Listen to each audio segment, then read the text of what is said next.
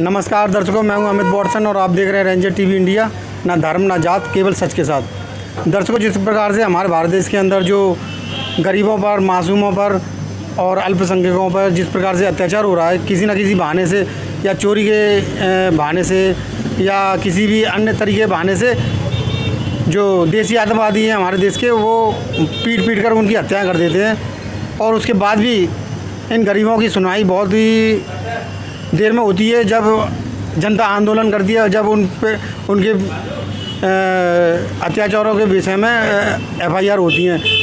तो जिस प्रकार से राजस्थान के अंदर एक मासूम बच्चा था, जिसने एक टीचर के घड़े से पानी पी लिया था, उसी कारण से, जिस प्रकार से बच्चे ने उस घड़े से पानी पिया उस टीचर ने इस बात को बुरा लगा उसे और उसने उस बच्चे की ऐसी पिटाई करी कि उसको इलाज करवाने में तीन चार दिन लग गए और तीन चार दिन के बाद में उसकी मृत्यु हो गई।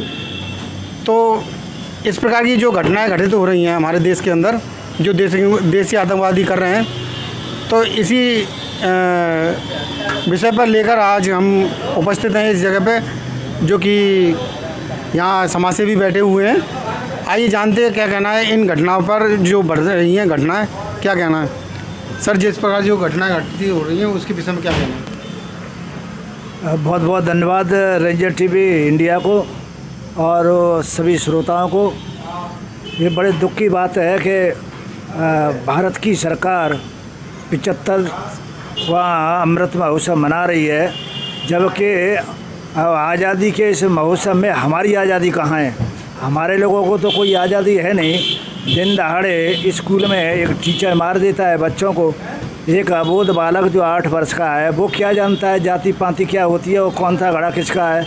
उसने पानी पी लिया तो उस छैल सिंह राजपूत ने उस बच्चे को इतना मारा कि कुछ दिनों के बाद वो बच्चा मर गया।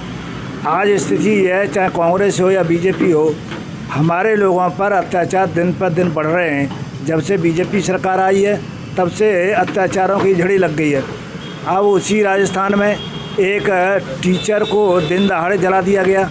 रैगर समाज की वो महिला थी और वो अपनी जान बचाने के लिए किसी रैगर के घर में घुस भी गई और उसने सौ नंबर पर फ़ोन किया।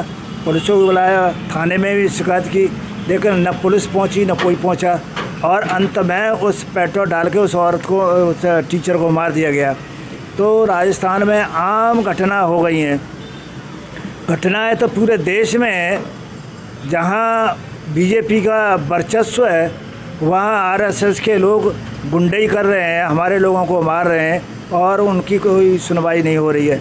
हम इस कांड की निंदा करते हैं। भारत सरकार से कहते हैं कि ऐसे लोगों को जेल में जेल में डाला जाए, फांसी की सज़ा दी जाए, और हमारे लोगों की सुरक्षा की गारंटी की जाए। तो जिस प्रकार से जो घटना घटी हुई ये एक मासूम बच्चे के साथ में क्या कहना चाहेंगे आप? वही जब से बीजेपी सरकार आई है खासकर इंडिया में भारत में तब से जात पात बढ़ी है और जात पात का बोलबाला है इसी आधार पर जगह जगह पर अत्याचार और चल रहे हैं और सरकार कोई सुनवाई नहीं करती है। जिस प्रकार से जो मासूम बच्चे के साथ में राजस्थान में घटना घटित हुई तो उसके विषय में आप क्या कहना चाहेंगे? और जो जो टीचर था जो, जिस प्रकार से आप टीचर नहीं कहेंगे, हम उसको एक तरह से देसी आतंकवादी कहेंगे, जो कि एक मासूम बच्चे को बुरी तरह से मारा तो उसके क्या सज़ा होनी चाहिए? सबसे पहले तो मैं रंजक टीवी इंडिया के लिए धन्यवाद बोलूँगा कि इन्होंने आकर के हमारी आवाज़ को सुनने की कोशिश की और पब्लिक तक पहुँचाने के लिए प्रयास किया। ये जो घटनाएँ हो रही हैं, ये जानबूझ की घटना हो रही हैं। हमारा देश और शिक्षा स्तर पर गुरुओं का बहुत सम्मान होता था। अब गुरु ही लोग राक्षस बनकर हमारे जो विद्यार्थी हैं छोटे छोटे अबोध बच्चे हैं, उनको मारने का प्रयास कर रहे हैं। और हम सरकार से मांग करते हैं कि ऐसे शिक्षकों को कड़ी से कड़ा सज़ा दी जाए। और स्कूलों में जाकर प्रॉपर इंक्वायरी की जाए कि ऐसे शिक्षक कैसे पल रहे हैं। जातिवाद का घनघोर और जो पालन कर रहे हैं, वो बढ़ता, बढ़ावा देते जा रहे हैं जातिवाद को, जबकि छोटे बच्चों में जातिवाद नहीं होना चाहिए। शिक्षा को न बढ़ाकर देकर, बढ़ावा दे करके जातिवाद को सबसे ज़्यादा बढ़ावा दे रहे हैं। ऐसे टीचरों पर कठोर से कठोर कार्रवाई होना चाहिए, सरकार को कठोर से कठोर प्रयास करना चाहिए। थैंक यू अब जिस प्रकार जो मासूम बच्चे के साथ घटना घटित हुई है टीचर ने जिस प्रकार से उसको मारा तो आप क्या कहना चाहेंगे उसके विषय में? उसके विषय में क्या कहेंगे? ये तो आदिकाल से चला आ रहा है। बस ये है कि बातें प्रकाशित हो जाती हैं तो मालूम पड़ता है। ये कोई नई घटना नहीं है। ये तो हर जगह हो रही है, पूरे भारत में हो रही है। बस फ़र्क पड़ता है तो शासन, प्रशासन का। जब शासन बीजेपी का आ गया है ना तो ये घटनाएँ हो रही हैं और वो एक्शन नहीं ले रही है। जो आतंकवादी हैं और वैसे लोग हैं मनवादी व्यवस्था के, वो बढ़ावा दे रहे अभी मैं जब देखता हूँ, अपने समाज में या पूरे आगरा में, जहाँ भी देख रहा हूँ, इनको प्रोडक्ट किया जा रहा है। और ऐसे लोगों को सरकार प्रोडक्ट कर रही है। जहाँ भी ये आतंक फैलाते हैं, उनके विरुद्ध कोई कार्रवाई नहीं होती और गरीब मासूम फड़फड़ा रहा है इस शासन में। इसमें हमारी सुरक्षा की कोई व्यवस्था नहीं है। अगर कहा भी जाए तो डांट फटकार के भगा देते हैं। थाने में कोई सुनता नहीं है। कहीं किसी भी स्तर पर चले जाओ, आप कोई नहीं सुनता। तो मैं चाहता हूँ शासन प्रशासन से, अगर योगी जी सुशासन चाहते हैं हैं तो इस ओर ध्यान दें कि सबके लिए, वो सबके अभिभावक हैं तो अभिभावक की तरह काम करें।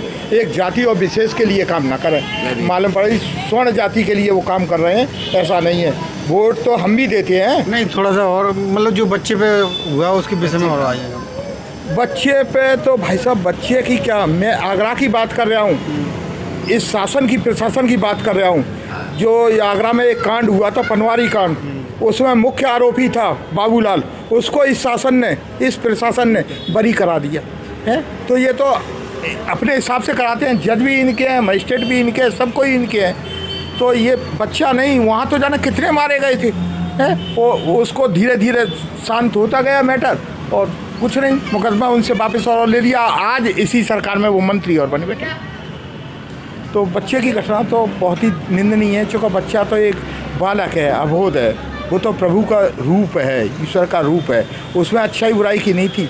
इन्होंने जो किया, वो शिक्षा का मंदिर नहीं है, वो जातिवादी का मंदिर है। ये बढ़ावा शिक्षा को नहीं दे रहे हैं, ऐसे टीचर बढ़ावा दे रहे हैं तो बढ़ावा दे रहे हैं जाति पाति का राजस्थान के जालौन में जो एक मासूम बच्चे के साथ में टीचर ने जो पीट पीट कर उसकी हत्या कर दी पानी पीने के बहाने से। तो इस इस घटना पर आप क्या कहना चाहेंगे? राजस्थान में जो बच्चा टीचर के द्वारा पीट पीट करके हत्या कर दी गई है वो हम आप पूरे लो, सब लोगों के लिए दर्दनाक कहानी है। लेकिन राजस्थान की सरकार इस मामले में बिल्कुल फेल है क्योंकि उसको मटकी से जो पानी बच्चे ने पिया है, उस मटकी को भी नहीं बता रहे हैं। उसकी जाँच जो की जा रही है, वो जाँच भी नहीं करा रहे हैं। अन्य पार्टियाँ जो लगी हैं, वो अपने राजनीतिक उसमें लगी हुई हैं। लेकिन हमारी बहुजन समाज पार्टी है, चंद्रशेखर पार्टी है, वो जा कर के आंदोलन कर रहे हैं। लेकिन एस सी का एक विधायक है हमारा तो उसने जो है इस्तीफा दे दिया इसी बात पे। कि ये बच्चे का दर्द जो है हम लोगों के लिए नहीं है, पूरे भारतवर्ष के लिए है। ये जातिवाद है। इस तरह के पचहत्तर साल मतलब पचहत्तर साल और जो है भारत देश को आज़ाद होते हुए हो गए और बरसगांठ मना रहे हैं और झंडा फहरा रहे हैं। इस झंडे के जितना खर्च आया है, उस खर्च पर गरीब बच्चों के नाम पर यदि ये खर्च करते तो हमारा हमारा जो है भारतवर्ष और उदय होता। और बच्चे की जो घटना हुई है वो हर हालत में सही होकर रहेगी लेकिन ये उसको जाँच में ये मटकी नहीं बता रहे और कुल मिला करके उसको जो है हर तरह से उसको छपा रहे हैं। ये इस पर बहुत ज़ोर का आंदोलन होगा और सरकार को फेल किया जाएगा। आगे चल करके भारतीय जनता पार्टी बिल्कुल चुप पड़ी है बिल्कुल बोल नहीं रही है। मेरी तरफ़ से ऐसे हत्यारों को और जो है फांसी की सजा दी जाए। हुई है मासूम के साथ आप क्या कहना चाहेंगे? ये कहना चाहेंगे राजस्थान जो घटना हुई है बहुत दुख की बात है। क्योंकि ऐसी वर्गों को कोई भी सम्मान नहीं दिया जाता है। जहाँ भी जाते हैं वहाँ पीट पीट कर भगा दिया जाता है। तो अगर ऐसा ही रहा तो हमारा ऐसी बराबर समाप्ति हो जाएगा। सरकार इसकी सुनती नहीं है किसी की। सरकार को सुनना चाहिए। और जो टीचर है उसके लिए क्या कहना टीचर के लिए तो कड़ी कड़ी सजा दे करके उसको दंडित किया जाए। अगर यही समाज चलता रहा ऐसे टीचर अगर बच्चों को पढ़ाएँगे लिखाएँगे तो हमारा ऐसी पर पढ़ नहीं पाएगा बिल्कुल। पढ़ाई लिखाई वैसे ही बर्बाद हो रही है बच्चों की तो। क्या कहना चाहेंगे इस मासूम बच्चे की घटना पर? ये बहुत ही बड़ी दुखद दुखद घटना है। हम तो ये कहेंगे कि जिस मास्टर ने इस बच्चे को मारा है उसको कड़ी से कड़ी सज़ा मिलनी चाहिए और अधिक से अधिक दंड मिलना चाहिए। तो दर्शकों आज हमने सम, अ, अपने भारत देश के समाज सेवियों से वार्तालाप की जो मासूम बच्चे के साथ में घटना घटित हुई है। तो समाज सेवी यही चाहते हैं कि जिस प्रकार से जातिवाद बढ़ रहा है और मासूमों पर जो अत्याचार हुआ है जो टीचर था उसको कड़ी से कड़ी सजा दी जाए, जिससे कि आगे ऐसी घटनाएँ घटित ना हो और इन ऐसी घटनाओं पर विराम लग सके। तो दर्शकों, आपको हमारा चैनल पसंद आए तो लाइक करें, शेयर करें, कमेंट करें और सब्सक्राइब करें, जिससे कि हमारा चैनल आगे बढ़ सके और हम अपने देश और देशवासियों की सेवा कर सकें। इसी के साथ फिर मिलेंगे। नमस्कार। दर्शकों, आपको हमारा चैनल पसंद आता है तो लाइक करें, शेयर करें, कमेंट करें, सब्सक्राइब करें, जिससे कि हमारा चैनल आगे बढ़ सके और हम देश की सेवा कर सकें। इसी के साथ नमस्कार।